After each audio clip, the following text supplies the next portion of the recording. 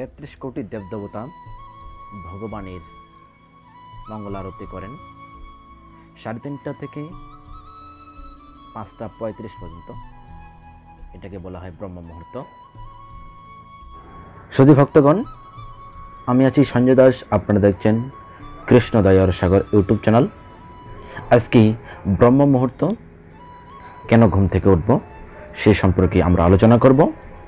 তো ভিডিওটি চ্যানেল শুরু করার আগে আপনাদের কাছে অনুরোধ, আপনি যদি আমার চ্যানেলে নতুন হয়ে থাকেন চ্যানেলে সাবস্ক্রাইব করবেন, পাশের বেল আইকন দাবে দেবেন নতুন নতুন ভিডিও পাওয়ার জন্য।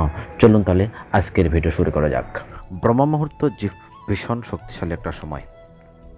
এই সময়টা হলো ব্রহ্মের সময়।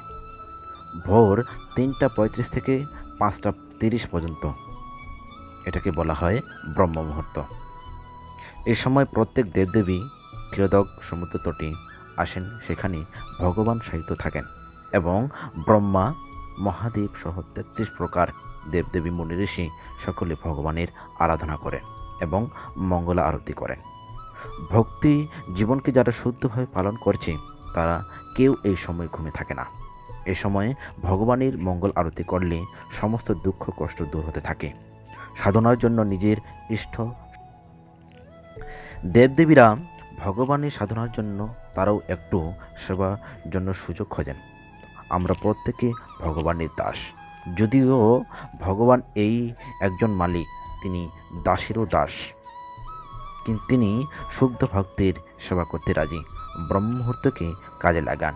সাধনার জন্য প্রাপ্ত এই মনুষ্যদেহকে কাজে লাগান। হরে কৃষ্ণ। ভক্তগণ, আমার চ্যানেলে যদি আপনি নতুন হয়ে থাকেন চ্যানেলে সাবস্ক্রাইব করেন, পাশের বেল আইকন দাবিয়ে দেবেন। নতুন নতুন ভিডিও পাওয়ার জন্য চলুন তাহলে আজকের ভিডিও সমাপ্ত করা যাক। হরে কৃষ্ণ।